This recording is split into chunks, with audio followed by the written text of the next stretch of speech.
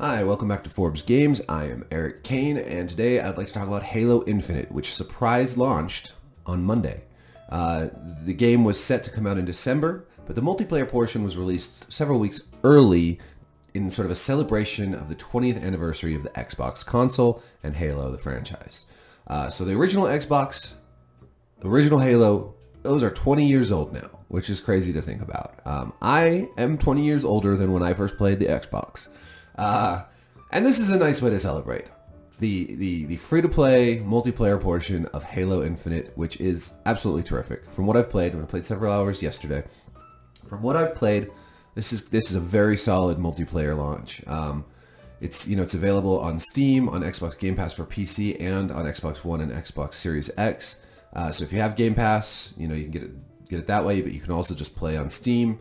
Um, there's a battle pass, optional battle pass system, so you can, you know, get cosmetics and customization stuff for your Spartan.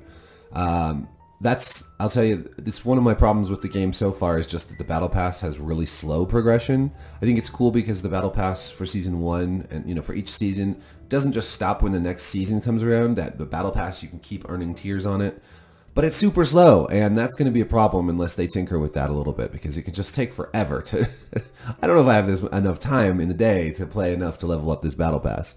Um, it's cross-play and cross-progression so you know if you play on xbox and you'll play on your computer you'll you'll keep progressing and you can play with friends on different platforms which is really nice although in my experience yesterday getting voice chat to work across platforms was pretty difficult so thank goodness for discord.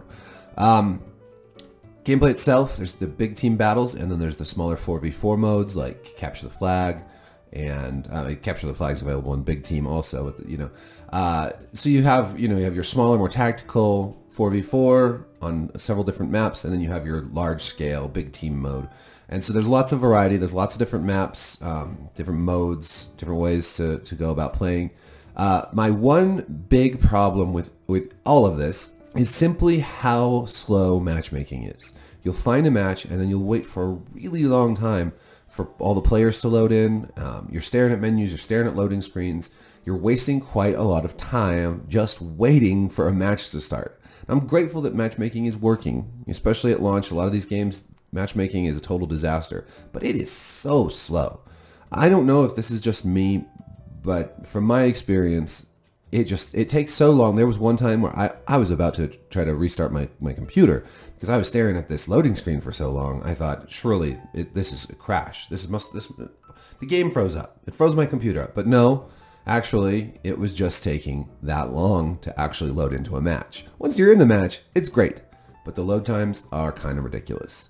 So I don't know. Um, I don't know what exactly is causing this. Maybe it's just the number of people playing. Although you'd think with more people playing, you know, matches, you could find matches easier. Um, maybe it's just a problem with the game's coding. I, I don't honestly know, but I hope something can be done to fix it because it really gets a little tedious just standing around waiting so much. Uh, so let me know if you've had similar issues on your end. Um, let me know in the comments or you can uh, hit me up on Twitter. And um, yeah, let me know what you think of the game in general. I think it's I think it's uh, I think it's really solid, fun multiplayer with great gunplay, um, awesome looking graphics, lots of maps and modes. Um, really unfortunate timing for for EA and the and Dice and Battlefield 2042, which comes out officially on Friday. Um, this is a this is an un unwelcome competition for that game, which is having plenty of its own problems, which I may talk about in a different video. So, all right, thanks for watching. Like, subscribe, and uh, see you next time. Peace.